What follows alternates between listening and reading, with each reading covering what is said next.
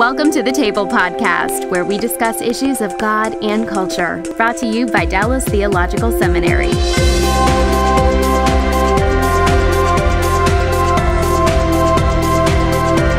Welcome to the table where we discuss issues related to God and culture.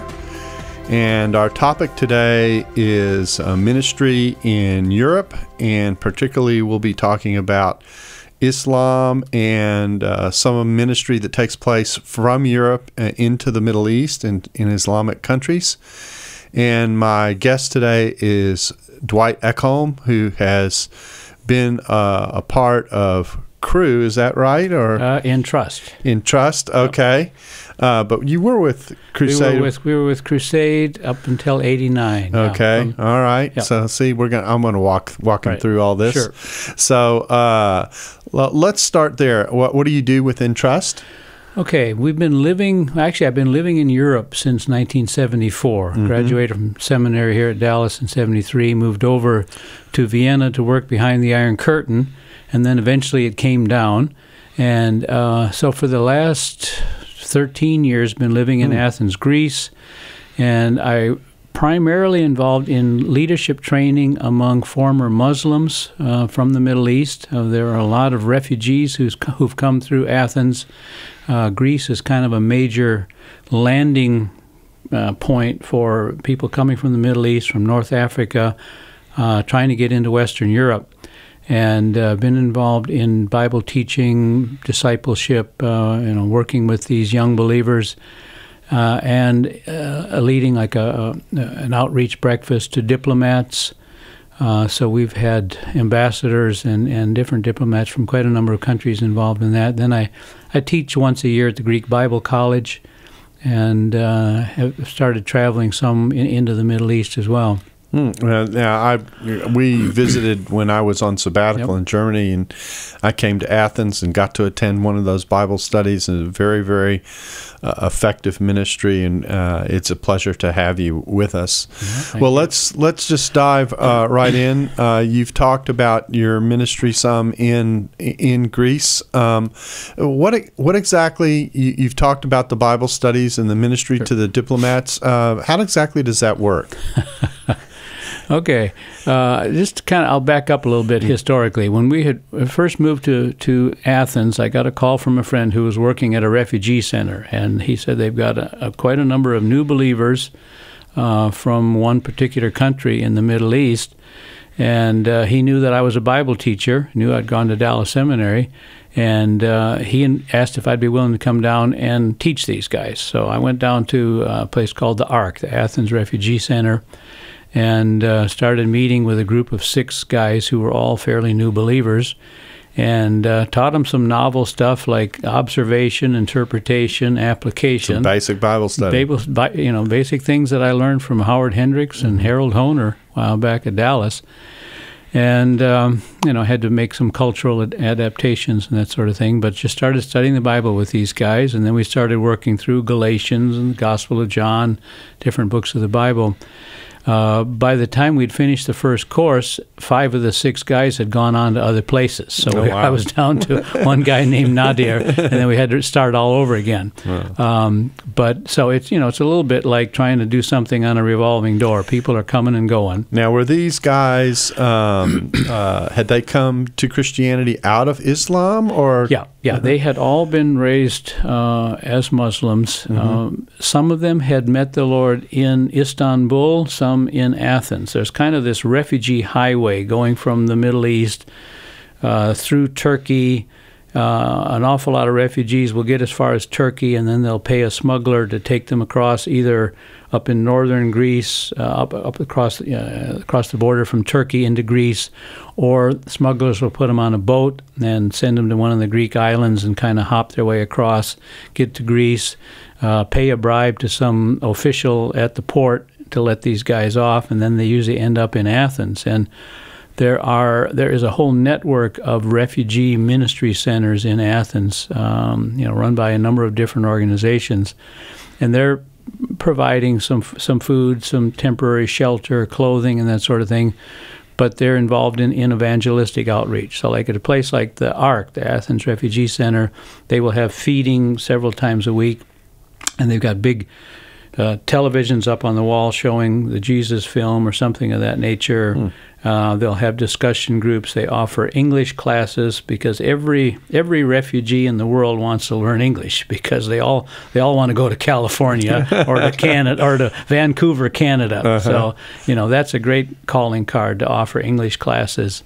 Um, you know, and they and they they have groups for for women and children.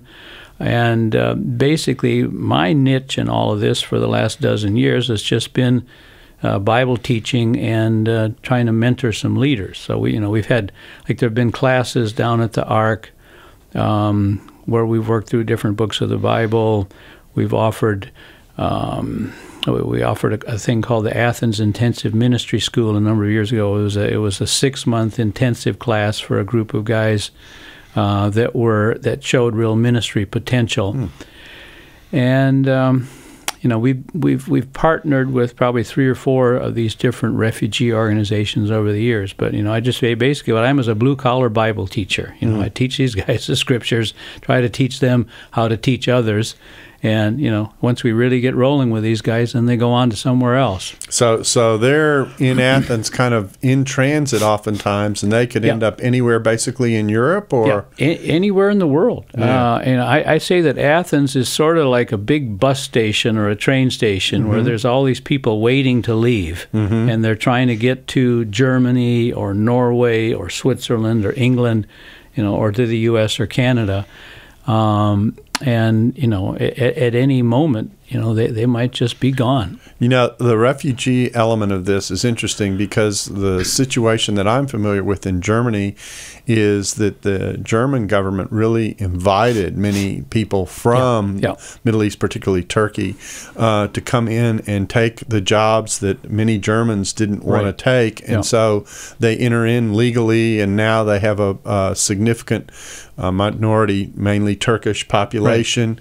Right. I think France has got a similar situation, yep. and so uh, so to hear the, the the smuggling aspect of it is is a, kind of a new twist for me because sure. most of my contact has been uh, through um, through legal means and through really invitation to come into Europe. Yeah, yeah. We lived in, in Germany for ten years, so I'm familiar with that. That there were you know a lot of Turkish. Even the word they use in German is Gastarbeiter. That's so right. So they're guest workers. Workers, yeah. So they came as guests of the German government, and uh, you know were paid a fair wage and provided with you know medical care and all this sort of thing. And there, I mean, you know, I've seen statistics. I mean, there is a, a, large population of Turkish workers that have stayed in Germany. You know, they've learned German. They're raising their kids there. But Athens much more of a of a, a transient situation, and and the, the the economy is so bad in Greece that you know people who had jobs as foreigners have lost their jobs and it's just kind of this downward spiral of hopelessness. So they're they're all trying to get out of there. They're at the bottom of the well, so to speak, yeah. and things yeah. and things in Greece are tough. Yeah, you yeah. know, part of the reason we we do these is it, these broadcasts on on uh, issues related to Europe and Islam and that kind of thing is because we want people to think globally about what's going on yeah. with Christianity and the issues that are associated with culture in general and Christianity in particular. I really have two ways I can go right now in terms of what I'm going to ask you, but I think I'm going to deal with the with kind of the general secular questions first and then turn sure. to ministry because I do want to come back and, and talk about uh, what ministry to people who come out of Islamic background is like. Um, but first, let's talk about the the issues that Europe feels as a result of this influx of um, Islamic presence in a variety of countries. And I'll frame it this way: um, I remember uh, from my sabbaticals in Germany numerous times having conversations with people in which I said, in effect, you know, Turkey's tried to get into uh, uh, into the European right. Union, and uh, you know they set up the rules for Turkey to do it, and Turkey best part I can tell, met those rules mm-hmm. and looked like everything was going fairly smoothly. But then, uh, and I don't know if this was just 9/11 or what, but but but the nervousness that many people in Europe feel yeah. about allowing Turkey in, although from a from a secular structural basis, there really is no reason to exclude hmm. hmm. Turkey. On the other hand, from a practical standpoint and from a uh, well, from a practical standpoint, when you if you let Turkey in with all the open border situation that you have, that yeah. that produces a problem. So explain kind of how Europeans view that particular potential. Hmm. Yeah. Um, I, I think there is kind of a general fear that, that, like you said, if Turkey gets into the EU, then like they do have open borders, for example, with Iran and and I think several of the other countries that border Turkey. So and I think there is that fear of just, you know, we've got more more refugees in Western Europe than we can handle, and mm-hmm. if we mm-hmm. take Turkey in, it's just gonna you know exponentially uh, in, increase the problem. Um, you know, I, I I don't sense that you know the average German is, is so worried about the, the, religious part, but I think they're more concerned maybe about um, you know just the economic effect of more and more and more people coming in looking for work, and then having a right to um, the social system and that sort of thing. I mean, you know, th- there's a certain amount of um, fear of, of Muslim influence, but you know, generally speaking, I think in most of Western Europe, it's so secularized that it's sort of like you know it doesn't matter what your religion Reli- is. Religion is yeah. having right. impact anyway. Sure, yeah. You yeah. Know, so un- unless you want to come in and start you know killing people, um, mm-hmm. you know I don't I don't think they're overly worried. But is there nervousness about the security aspects of what open borders would mean? Oh yeah, yeah, I think so. And and I mean you know, I think the open borders in the EU in the EU have just made it a lot easier for all kinds of people to come and go. And I mean, it makes it easier for us as we travel. Certainly does. I remember going from Germany to France or Germany in whatever direction. You had to stop at every border yeah. crossing and et cetera. Yeah. And now you just go, and it's yeah. like going from one state to another right. in the United States. You don't even think about it. Right. Yeah. You fly in and out. And you don't. You, know, you don't have to show your passport. You drive across. I mean, and when I was doing my doctorate in Basel, I was living in Germany, and every time we passed, you know, we would have to show our passport, and they wanted to know what we had in our suitcase. And, Absolutely. And, you know, but and for a while, when we lived in Germany in the '80s, we had to have a visa to go across over into France. Mm-hmm. Yeah, I I definitely remember those days. Well, let's that uh, it, it, it struck me. I remember one particular conversation I had with a with a German theologian. We were just uh, spending a couple of days together uh, talking about theology, and we got onto this topic, and and I had had the view that that um, that Turkey just had every right in the world to think about coming into mm-hmm. the EU. They had met the standards, and they had they had done what the union had asked, and uh, and you know there wasn't a religious uh, entrance requirement of any kind. Yeah, yeah. So it seemed like they would get in without a blinking an eye. And he, he as a German, just walked through all the social, uh, uh, economic, and and security issues that that caused uh, many people to have pause. So that even though they met these standards, and I think there may have been a time when they when they offered these standards that they questioned whether or not they would ever be met. Sure. And uh, um, and so, uh, so now there were all these roadblocks coming into the conversation, and I saw his nervousness, and it hmm. struck hmm. me. I, it, it's one of those conversations that you have with someone who's who lives there, where you go, "Oh man, I haven't even thought about you know three quarters of what they're thinking about and what concerns them because I'm I'm not that immersed in the sure. culture." Yeah.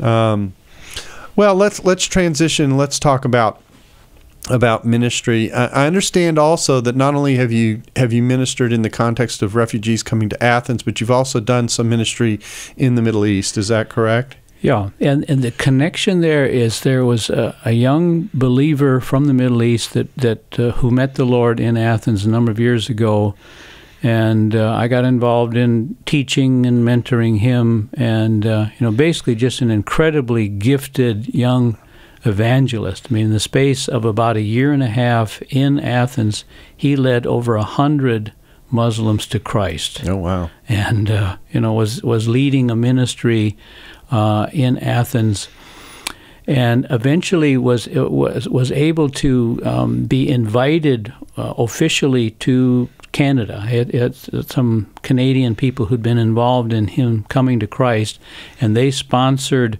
him and invited him to come to Canada. So he moved to Canada several years ago, got Canadian citizenship, and his whole goal was not to stay in Canada and watch hockey games. His goal was to get a passport so that he could travel in the Middle East. Hmm. So now, um, two years ago, uh, he and his wife moved back to the Middle East. They're in a in a country not all that far from from Greece, and they're settled there doing ministry to their countrymen and and and in the country where they're living. So I've I've gone and spent some time with them, and um, they have a strategy of trying to train leaders for these house churches that exist all over the Middle East. I mean, there is literally there's a real revival going on Mm-hmm. in certain parts of the Middle East, and you've got a lot of young believers who are meeting together.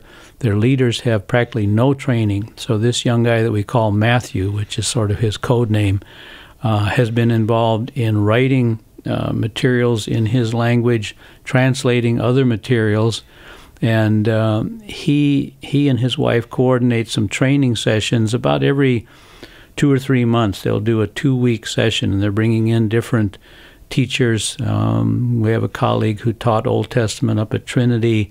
We have a colleague who's a pastor of an international church in Budapest. And these guys will go there for a couple of weeks at a time and do do some training classes. And so he, I mean, his whole vision is ultimately, you know, as doors open up, eventually, would be to have some kind of more of a organized training program in his home country. But right now he's not able to do that. But people can somewhat travel, and uh, so it, it, to me it feels like what what we're doing there feels a lot like what we used to do behind the Iron Curtain. Oh, You wow. know, where In one sense, you have to be sort of careful. It's hard to know Right. whom to trust. Yeah. And there are a lot of people doing things that we, you know, we really don't know exactly who's who and what they're doing. But you know, there there is a lot going on in that part. I'm of the curious world. who's the who's the Old Testament guy who was at Trinity? Uh, his name is uh, Frans. Uh, let's see, it's a Dutch name. Give me a minute, I'll think. Well, you know, it's it's a small world because I actually taught two weeks in Jordan, Okay. and uh, and we overlapped, and so we actually were roommates in the apartment together because we were teaching yeah, in Jordan. okay. Frans den Exter Blokland. Yeah, Take a minute to get his name. There you back. go. Yeah, Yeah, yeah. We we actually taught in Okay, Jordan at the yeah. Jordan Evangelical Right. Theological Seminary Yeah, uh, yeah. at the same time. How about that? That's Yeah. that's a that's a new one. anyway, um, so he's got this ministry where he's where he's ministering to the house churches, and and you've gone in is Yeah. it to help some of the yeah, time. Yeah, I was I um, was there uh, earlier earlier this year and um, had a chance to speak at, at, at one of these home gatherings, and um, you know, just just just a delightful group. And uh, he was able, he translated for me. Obviously, I don't speak that language.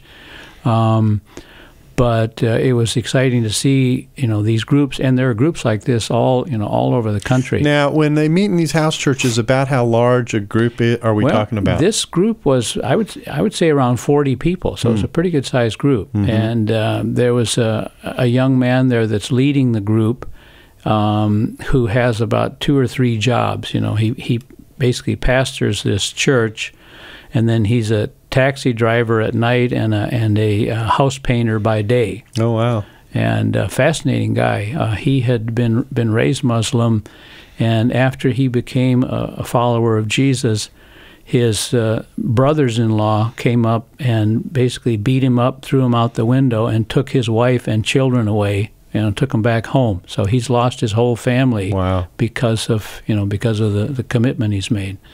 Now, you said that there's a, a little bit of a revival going on among Muslims. Do you have a sense of what draws them to the gospel?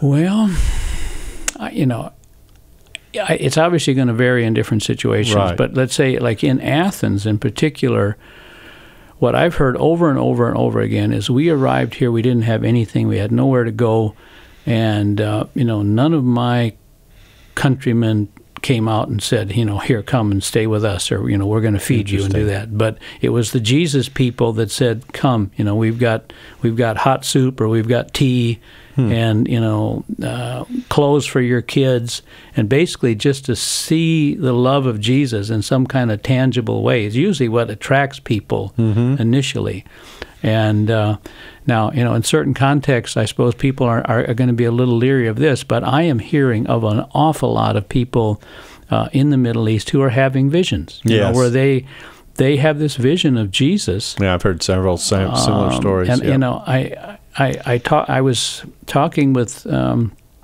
a, a, couple of these church leaders, and they were telling me about a man that they knew who had gone on the Hajj, and while he was there, he had a vision of Jesus, and he came back as a follower of Jesus. Wow. You know, so there are, and I mean, there, there's quite a number of these stories. Yeah, I've, heard. heard. I've, I've heard many many stories like this, and, and even I've even heard some that are that are much simpler. Uh, uh, we hope, and in a in one of our discussions of Islam, to have uh, a person who ministers in Turkey, hmm. Uh, who I know, who um, and his story is what got him curious about the gospel was the movie Ben Hur. Okay. because uh, because yeah. he he saw the crucifixion scene and in Islam, uh, Jesus doesn't end up really being crucified, so they don't know what to do with his death, yeah, and not okay. much less his resurrection.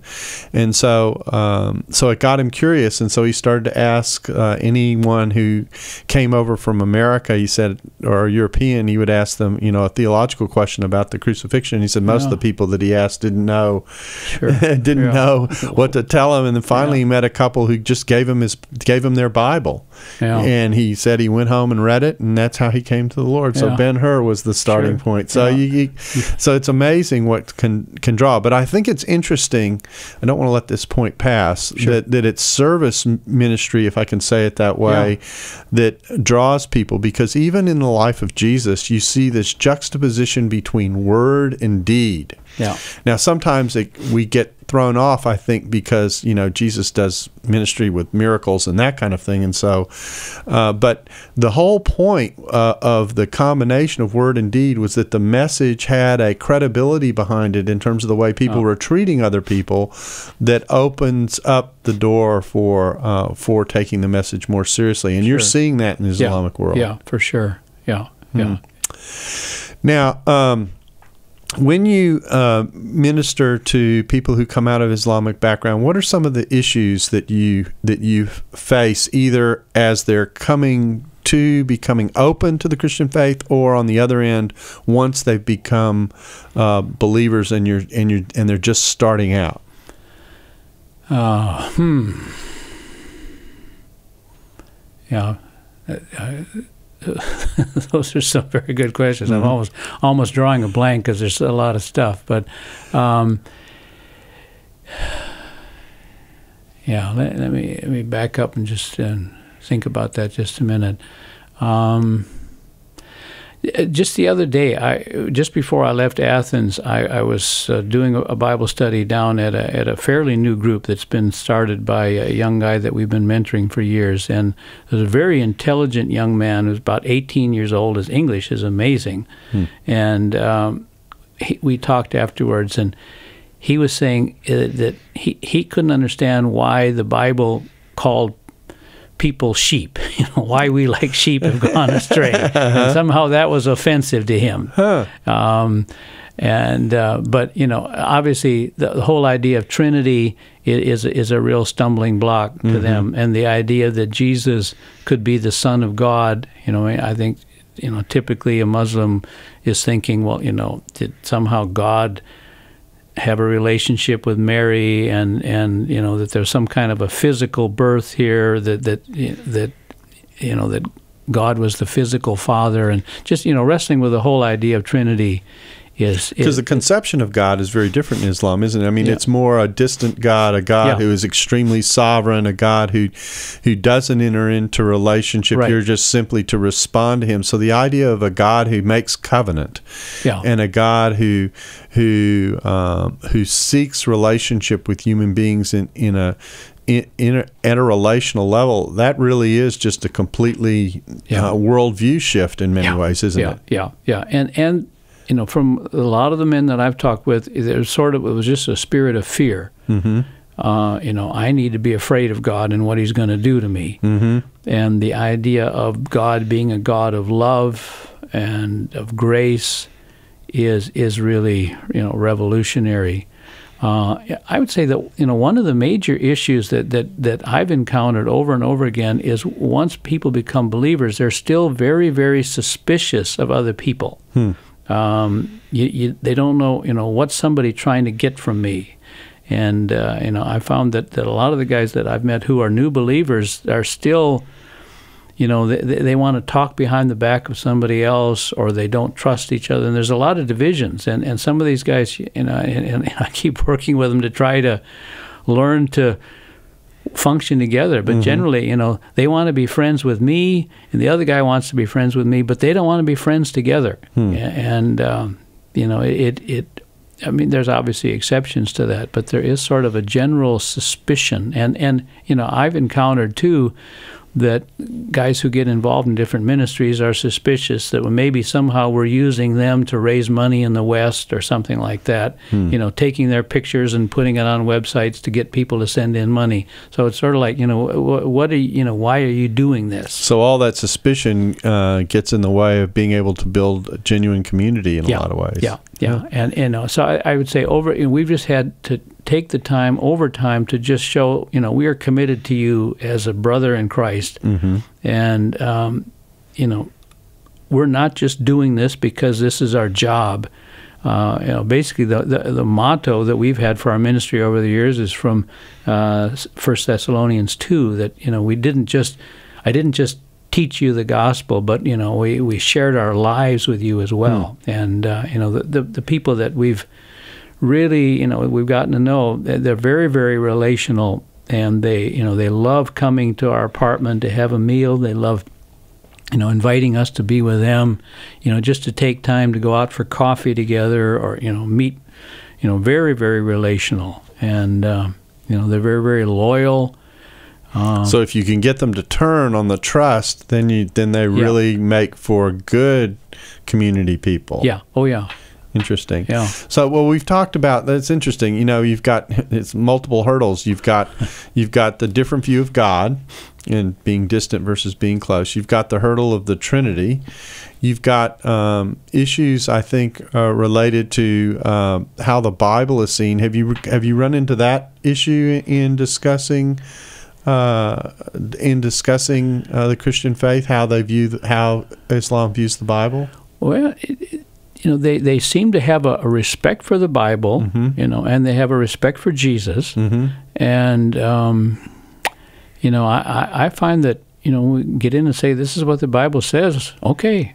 And, and you know, I find uh, particularly these, these new believers to be really, really serious about wanting to study the Bible. And, you know, they don't come in with all kinds of, you know, theological preconceptions about what things mean. I mean, you know, we just get in there and we start reading and we're looking, you know, what does it say and, and try to figure out what does it mean and how do we apply it. And and I find them to be really, really good Bible students. And you know, as, we, as they start to understand things in context, like you know, I've I've met quite a number of guys who met the Lord and they started coming to different refugee centers and they were subjected to all this kind of Bible hopscotch, you know, where the mm-hmm. guy's up front, you know, starting out in Galatians and he jumps over to Ephesians and then he's ending in Leviticus. Mm-hmm. And after a while, these guys are, their heads are just spinning. Mm-hmm. So, you know, once I was able to get him into a Bible study and just work through, let's say, Philippians and just mm-hmm. work through from beginning to end, and it's, oh, Brother Dwight, you know, we've never done this before, and can we have another class tomorrow night? Hmm. You know, and just really, really teachable. and sort of like, you know, sort of like Blue Bell ice cream. You know, the more you give them, you know, the more they want, and and you know, they, and they really recognize the difference. So, so uh, do you have a particular book that you start with? Um, I would, you know, I would say I've generally started with Galatians. Mm-hmm. Um, and and you know I've used Philippians a lot, and I've found that one book that that, that people can really relate to in that situation is the book of Ruth. Hmm. You know, I, we go into the first chapter and we look at Ruth and her family and all this, and they said, now in our context today, what would we call Ruth? Mm-hmm. Huh, she's a refugee. Oh yeah. you know and here's the you know for economic reasons they left one situation you know they're down here Mm-hmm. they've had death in the family um, can you guys relate to this situation? And you know and then like I, I worked through the book of acts one time with a number of these guys and you know we get to chapter 8 and say well who was it that uh, spread the gospel these were refugees. They were getting kicked out of Jerusalem. So, you know, so and and you know, they they can understand a lot of the Old Testament culture Mm-hmm. and relate to it probably a lot better than the typical person in the West can. Yeah, that's our true. culture is, you know, their culture is so more so much more similar Mm-hmm. than what ours is. So uh, that's interesting. Now, uh, is there a particular gospel that that uh, that draws, or Um,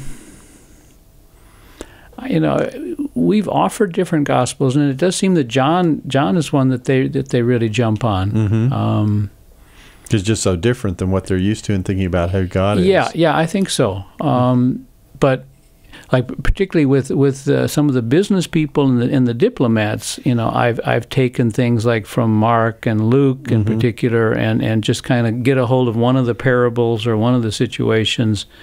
Um, we've got a number of people from Lebanon who are involved in that, and and, and they can somehow really connect with these stories. And you know, I, I would say that you know the, the the guys from the Middle East do really relate to. Um, you know, some kind of a uh, like the, the gospel, where you've got a specific confrontation between Jesus and someone else. Um, you know, they get into that.